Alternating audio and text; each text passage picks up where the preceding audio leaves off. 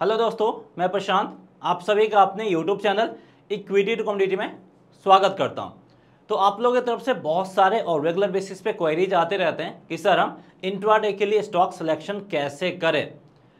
तो यहाँ पे अगर आप इंट्राडे ट्रेडिंग करते हैं तो सबसे इम्पोर्टेंट और पहला स्टेप होता है स्टॉक सिलेक्शन यहाँ पे आप एग्ज़ाम्पल के थ्रू समझ सकते हैं, आप कितना भी अच्छा घर बना लो, अगर उसका बेस मज़बूत नहीं है तो थोड़ा भी भूकंप का झटका आते ही घर धाराशाही हो जाएगा। ऐसे ही अगर आपने स्टॉक का सिलेक्शन किया है और वो सिलेक्शन अगर गलत है और अगर आपने सही तरीके से स्टॉक का सिलेक्शन नहीं किया है तो कितना भी तगड़ा या कितना भी पावरफुल या सटीक ट्रेडिंग स्ट्रेटजी का इस्तेमाल क्यों ना कर लो, वो स्टॉक्स आपको प्रॉफिट बना के नहीं दे सकता है। वहाँ पे आपको नुकसान ही उठाना पड़ेगा। तो इंटरडे ट्रेडिंग में सबसे पहला और मोस्ट इंपॉर्टेंट पॉइंट होता है स्टॉक सिलेक्शन अगर आपने सही स्टॉक का सिलेक्शन नहीं किया तो आप कुछ भी कर लो, आप लॉस में ही रहोगे। तो इसलिए इस वीडियो हम देखेंगे कि आप इंट्राडे और BTST ट्रेडिंग के लिए कैसे सही तरीके से स्टॉक का सिलेक्शन कर सकते हो और उसके लिए हमारे पास स्कैनर भी अवेलेबल है। उस स्कैनर के ज़रिए आप काफ़ी आसानी से स्टॉक का सिलेक्शन कर सकते हो। तो यहाँ पे एक और चीज़ आपको फोकस करना है। हम मोमेंटम स्टॉक्स के ऊपर फोकस करेंगे, यानी जिस स्टॉक्स में मोमेंटम हो, इससे हमें फ़ायदा क्या होगा? तो यहाँ पे मैं आपको एक एग्ज़ाम्पल के थ्रू बताना चाहूँगा। आपने कभी बाइसिकल या फिर मोटरसाइकिल जो राइड किया होगा। मैं सबसे पहले बाइसिकल का एग्ज़ाम्पल देना चाहूँगा। जब बाइसिकल आपका काफ़ी तेज़ रहता है तो उसमें आप पाइडल मारना बंद कर दो। उसके बाद क्या होता है? बाइसिकल ऑटोमेटिकली रुक जाता है, नहीं रुकता है, वो आपको कुछ देर और आगे चलता हुआ दिखता है। यानी उसमें जो मोमेंटम है, उसके साथ वो कुछ और आगे चलता है। ऐसे ही बाइक में आप जब बाइक स्पीड पे हो, उस टाइम पे बाइक आप बंद कर दो, उसके बाद भी बाइक आपको कुछ दूर आगे तक जाता हुआ दिखेगा। तो वो क्यों जाता है? क्योंकि उसमें पहले से मोमेंटम है। इसी तरीके से अगर हम मोमेंटम स्टॉक्स को फाइंड करेंगे और वहाँ पे थोड़ा बहुत बायर्स का क्वांटिटी कम भी हुआ, फिर भी उसमें इतना मोमेंटम है कि थोड़ा दूर तक और जाता हुआ दिखेगा और हमें अच्छा खासा मौका मिल जाता है उस स्टॉक से निकलने का। इसलिए इस वीडियो हम फोकस करेंगे कि कैसे हम मोमेंटम स्टॉक्स फाइंड कर सके और हम उसी मोमेंटम स्टॉक्स को फाइंड करके उसमें इंट्राडे ट्रेडिंग करेंगे। चलिए स्टार्ट करते हैं।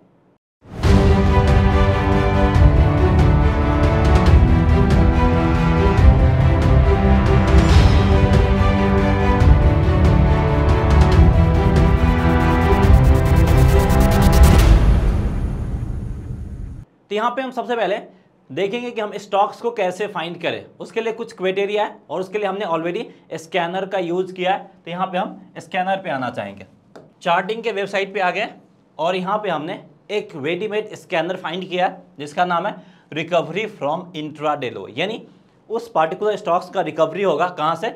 इंट्राडे के लोएस्ट पॉइंट से वो रिकवर करके ऊपर निकलेगा। उस पार्टिकुलर स्टॉक्स में हमें मोमेंटम देखने को मिलेगा और उसी में हम ट्रेडिंग करके प्रॉफिट बना सकते हैं इंट्राडे लेवल के बेसिस पे और बीटीएसटी के बेसिस पे। लेकिन यहाँ पे हमें दो और क्राइटेरिया फाइंड करना। सबसे पहले, दो यहाँ पे हमने क्राइटेरिया अप्लाई किया, इन दोनों को हम समझते हैं। सबसे पहला क्या है? जो प्रीवियस कैंडल का हाई है, उससे ऊपर या उसके बराबर इसका हाई होना चाहिए। क्लियर है? पहला क्राइटेरिया यानी उससे प्रीवियस कैंडल जो भी फॉर्म हुआ है, उससे ऊपर इसका हाई होना चाहिए। दूसरा क्राइटेरिया क्लोज भी आपका ग्रेटर देन और इक्वल टू प्रीवियस कैंडल यानी प्रीवियस कैंडल का जो भी क्लोजिंग पॉइंट है, उसके बराबर या फिर उससे ऊपर क्लोजिंग होना चाहिए। दो सिंपल क्राइटेरिया है। कि हाई प्रीवियस कैंडल के हाई से ऊपर हो और क्लोजिंग प्रीवियस कैंडल के क्लोजिंग से ऊपर हो। और यही दो स्टेप को हम लेते हुए यहाँ पे हम स्कैनर रन करेंगे और स्टॉक्स को फाइंड करने की कोशिश करेंगे। तो यहाँ पे अगर हम स्कैनर रन करें तो मुझे जो स्टॉक्स यहाँ पे मिला है आज के डेट के अकॉर्डिंग, वो मिला है मुझे यहाँ पे, देख सकते हैं, दीपक नाइट्रेट। ये काफ़ी बेहतरीन स्टॉक्स है और ये फंडामेंटली भी काफ़ी स्ट्रॉन्ग स्टॉक्स है और अभी पार्टिकुलर सिचुएशन में इसका डिमांड भी अच्छा खासा है। तो अब हम दीपक नाइटवेट के चार्ट पे चलते हैं और देखते हैं इसके बेसिस पे हम इंट्राडे ट्रेडिंग कैसे कर सकते हैं। चलिए चार्ट पे चलते हैं। तो यहाँ पे हम दीपक नाइटवेट के डेली चार्ट पे आए अब डेली चार्ट के बेसिस पे आपको डाउट हो रहा होगा कि हम इंट्राडे ट्रेडिंग कैसे कर सकते हैं। मैं आपको सारा कुछ एक्सप्लेन करूँगा और यहाँ पे आप एक दिन पहले ही स्टॉक्स को फाइन कर सकते हैं। ये कल के लिए हमारे लिए इंट्राडे स्टॉक्स बन सकता है, जिसमें हम इंट्राडे ट्रेडिंग कर सकते हैं, और ये बहुत ज़्यादा आपको हेल्प करने वाला है, और ये आपके इंट्राडे ट्रेड का एक्यूरेसी लेवल भी इंक्रीज कर देगा। सबसे पहले, जो हमने स्कैनर रन किया था, उसका क्या नाम था? उसका नाम था रिकवरी फ्रॉम इंट्राडे लो ठीक है? इंट्राडे लो से हमें रिकवरी चाहिए। और लास्ट ट्रेडिंग सेशन यानी फ्राइडे की अगर हम बात कर लें तो देख सकते हैं यहाँ पे इंट्राडे लो ये है और इंट्राडे लो से ये ज़बरदस्त रिकवरी दिखाया और इससे काफ़ी ऊपर क्लोजिंग दिखाया यानी इंट्राडे लो की बात करें तो 1760 इंट्राडे लो है और क्लोजिंग लगभग ये आपका 1860 के करीब दिया यानी इंट्राडे लो से ये लगभग आपका 100 पॉइंट का अपसाइड मूव दिखाया और परसेंटेज में यहाँ पे आप कैलकुलेट कर ही सकते हैं कितना ज़बरदस्त रिकवरी दिखाया फ्रॉम इंट्राडे लो यानी पहला पॉइंट सेटिस्फाई हो गया, दूसरा हमने जो स्कैनर रन किया था, उसमें क्या चाहिए था? प्रीवियस कैंडल के हाई से ऊपर क्लोजिंग हो और प्रीवियस कैंडल के क्लोजिंग से भी ऊपर क्लोजिंग हो। तो यहाँ पे हमने जो स्कैनर रन किया था, उसमें पहला पॉइंट क्या था? पहला पॉइंट था, जो अभी कैंडल फॉर्म हुआ, उसका हाई प्रीवियस कैंडल के हाई से ऊपर हो। तो प्रीवियस कैंडल का हाई आपका ये रहा और इसका हाई ये रहा, यानी इस कंडीशन को सेटिस्फाई किया दूसरा। जो क्लोजिंग दे, वो प्रीवियस कैंडल के क्लोजिंग से ऊपर क्लोजिंग दे, प्रीवियस कैंडल क्लोजिंग आपका यहाँ पे है और इस कैंडल क्लोजिंग यहाँ पे यानी जो दोनों स्कैनर का क्राइटेरिया था, वो यहाँ पे सेटिस्फाई होता हुआ दिखा। यानी आपको ये चीज़ मैनुअली फाइन नहीं करना, लेकिन जो स्टॉक्स वो फ़िल्टर करके देगा, उसके बाद आपको वेरीफाई करना है कि वाकई ऐसा है या फिर नहीं है। तो यहाँ पर हमने वेरीफाई कर लिया, दोनों कंडीशन को सेटिस्फाई कर रहा। अब क्या होगा? दीपक नाइटवेट हमारे लिए क्या बन जाएगा? इंट्राडे स्टॉक्स बन जाएगा। कब? मंडे के लिए नेक्स्ट ट्रेडिंग सेशन यहाँ पे अगर हम बात कर लें तो 13 जून के लिए ये हमारे लिए ज़बरदस्त क्या बन जाएगा? इंट्राडे स्टॉक्स यानी 13 जून को यहाँ पे हम इंट्राडे ट्रेडिंग कर सकते हैं। अब कैसे कर सकते हैं? क्या क्राइटेरिया होगा? कहाँ पे हम एंट्री लेंगे? कहाँ पे स्टॉप लॉस होगा? कहाँ पे टारगेट प्राइस होगा? वो सब कुछ मैं आपको एक्सप्लेन कर रहा हूँ। लेकिन यहाँ पे हमने कितने सिंपल तरीके से सिर्फ़ एक स्कैनर यूज़ करके हमने इंट्राडे स्टॉक्स फाइंड कर लिया। और स्कैनर का लिंक इस वीडियो के डिस्क्रिप्शन में मिल जाएगा। उस लिंक पे क्लिक करते ही आपको स्कैनर मिल जाएगा। और आप चाहो तो इसके बेसिस पे बी ट्रेड भी ले सकते हैं। यानी आप देख सकते हैं क्लोजिंग से दस पंद्रह मिनट पहले। अगर सेम कंडीशन को सेटिस्फाई कर रहा है तो क्या करेंगे? हम यहाँ पे मार्केट क्लोजिंग से पहले भी बाई कर सकते हैं बीटीएसटी ट्रेडिंग के लिए। तो ये काम आप मार्केट क्लोजिंग से 10-15 मिनट पहले भी कर सकते हो। पहले भी आप स्कैनर को रन कर सकते हो। और कभी कभी यहाँ पे ऐसा भी हो सकता है कि उस स्कैनर के बेसिस पे आपको कोई स्टॉक्स देखने को ना मिले। तो आपको घबराना नहीं है। जब भी स्टॉक्स देखने को मिलेगा, उस स्टॉक्स में आप इंट्राडे ट्रेडिंग कर सकते हैं और उसका एक्यूरेसी लेवल बहुत ज़्यादा हाई रहेगा। तो अब यहाँ पर मैं आपको सारा कुछ सिस्टमेटिक बताता हूँ कि एंट्री पॉइंट क्या होगा स्टॉप लॉस और टारगेट प्राइस क्या होगा। अगर हम यहाँ पे नेक्स्ट ट्रेडिंग सेशन यानी 13 जून को इसमें ट्रेडिंग करते हैं तो। तो यहाँ पे हम entry point target stop loss fine करेंगे। लेकिन उससे पहले मैंने आपको एक और चीज़ बताया था कि यहाँ पे हम मोमेंटम स्टॉक्स को पिक करेंगे। तो हमने चेक किया ही नहीं कि यहाँ पे मोमेंटम है या नहीं है। तो चलिए सबसे पहले हम मोमेंटम को चेक करते हैं। तो जैसे जैसे मैं सारा कुछ स्टेप बाय स्टेप चेक कर रहा हूँ आपको भी वैसे स्टेप बाय स्टेप चेक करना, तब जाके आपको सही तरीके से एक इंट्राडे स्टॉक्स फाइंड कर पाएँगे और ये आप नेक्स्ट डे के लिए फाइंड कर पाएँगे। तो आपको रिसर्च करने का अच्छा खासा टाइम मिलेगा अच्छा खासा मौका मिलेगा। इसलिए आप ये सारा कुछ रिसर्च खुद से भी करना है सिर्फ़ मेरे भरोसे या फिर किसी और के रिसर्च के भरोसे काम नहीं करना। अगर आपको स्टॉक मार्केट में लंबे समय तक टिकना है तो आपको किसी और से हेल्प लेने की ज़रूरत नहीं है। तो आपको अपना दिमाग का इस्तेमाल करना और वही चीज़ आपको प्रॉफिट बना के देगा, क्योंकि आपको लॉस होगा, उससे मुझे ज़्यादा कोई फ़र्क नहीं पड़ने वाला, ना ही किसी और को फ़र्क पड़ेगा। फ़र्क पड़ेगा सिर्फ़ आपको, इसलिए आपको थोड़ा सा सतर्क होकर ट्रेडिंग करना होगा। तो यहाँ पे देखिए, अब हम अगले स्टेप पे आते हैं, देखते हैं मोमेंटम स्टॉक्स है या नहीं है। सबसे पहले प्राइस यहाँ पे नीचे आया और यहाँ पे बायर्स एक्टिव देखें, यानी ज़बरदस्त रिवर्सल देखने को मिला है। जो कैंडल स्टिक हमने फाइन किया, उससे एक कैंडल पहले भी। और यहाँ पे अगर हम एक स्ट्रेट लाइन ड्रॉ करते हैं तो हमने क्या देखा है? कि इससे पहले भी यहाँ पे हमें सपोर्ट लेवल देखने को मिला। मतलब यहाँ पे जो रिवर्सल देखने को मिला, वो कहाँ से? वो एक क्रूशियल सपोर्ट लेवल से हमें रिवर्सल देखने को मिला है। और ये एक सही टाइम रहता है मोमेंटम स्टॉक्स फाइन करने का यानी यहीं से स्टॉक्स में मोमेंटम आता है। उसके बाद, उसका अगला कैंडल भी क्या दिखाया कि बायर्स यहाँ पे बहुत ज़्यादा एग्रेसिव हो गए। मतलब यहाँ पे आपको समझना है प्राइस आपका नीचे साइड की तरफ़ आ रहा मतलब इस पार्टिकुलर रीजन में जो सेलर है, वो बहुत ज़्यादा स्ट्रांग थे। जैसे ही प्राइस यहाँ पे आया, ये सेलर क्या हो गए?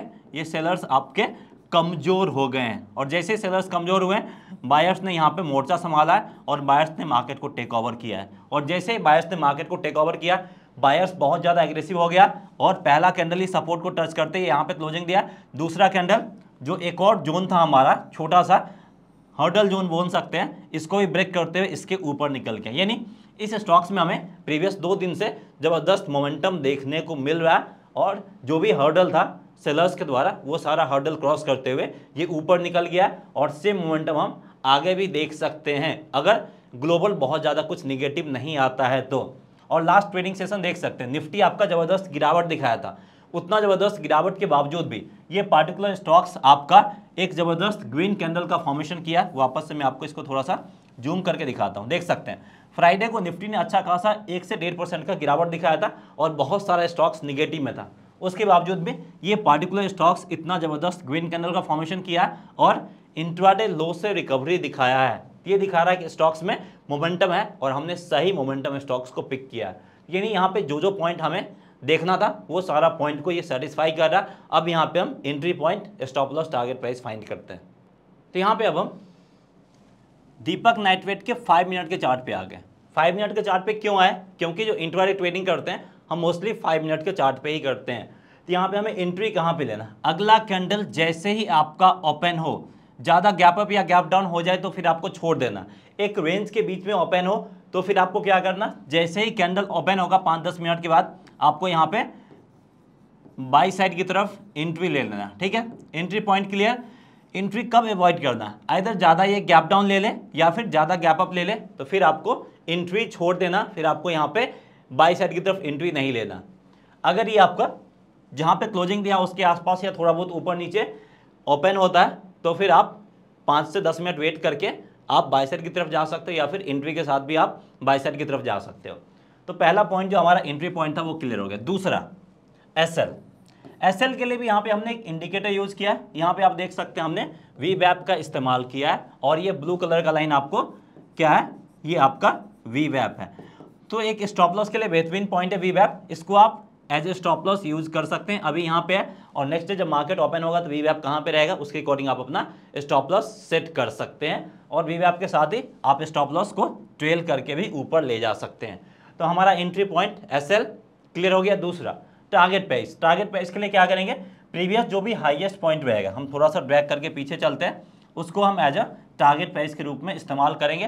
तो अभी के लिहाज से देखें तो सबसे ऊपर आपका इसके करीब है यानी 18,080 ये क्या बन जाएगा? आपका टारगेट वन बन जाएगा उसके बाद जो अगला हर्डल रहेगा लगभग आपका 1900 करीब है तो ये आपका टारगेट टू बन जाएगा। तो इसी तरीके से आप यहाँ पे अपना stop loss entry point target price काफ़ी आसानी से इंट्राडे लेवल के बेसिस पे फाइंड कर सकते हैं। और यहाँ पे आपको काफ़ी अच्छा अपॉर्चुनिटी मिलता है। आपके पास पूरा एक दिन का टाइम होता है। कि आप आराम से रिसर्च कीजिए और जो भी स्ट्रेटजी सेटअप करना है, कहाँ पे स्टॉप लॉस रहेगा मार्केट गैप अप ओपन होगा तो क्या करेंगे गैप डाउन ओपन होगा तो क्या करेंगे तो सारा कुछ आप देख के अच्छे से रिसर्च करके फिर आप तैयारी के साथ उतरोगे, फिर आप कॉन्फिडेंस के साथ जो भी पोजिशन लेना वो ले सकते हो। अगर बाई चांस लॉस भी होता है या फिर गलत भी करते हो तो आप उस गलती से सीखोगे और जो गलती हुआ है, उसको आप दोबारा दोहराओगे नहीं, इससे प्रॉफिट मेकिंग चांसेस इंक्रीज हो जाएगा। इस तरीके से आप इंट्राडे के लिए एक बेहतरीन स्टॉक्स फाइन कर सकते हैं। सो उम्मीद होगा कि आपको ये कॉन्सेप्ट यहाँ पे समझ में आ गया होगा और बहुत सारे लोगों को इससे हेल्प मिलने वाला है। इसकी हम यहाँ पे उम्मीद कर रहे हैं। सो so, अगर आपको ये वीडियो पसंद आया प्लीज़ वीडियो को लाइक करके हमें इंकरेज कीजिए और चैनल को सब्सक्राइब नहीं किया तो चैनल को सब्सक्राइब ज़रूर कीजिए और साथ ही साथ बेल आइकन को ज़रूर दबा दीजिए ताकि इस तरह के वीडियो अगर हम आगे और भी बनाएँ तो उसका नोटिफिकेशन आप तक पहुँच जाए और आप उस वीडियो को मिस ना करें। सो so, मिलते हैं नेक्स्ट वीडियो में। जय हिंद।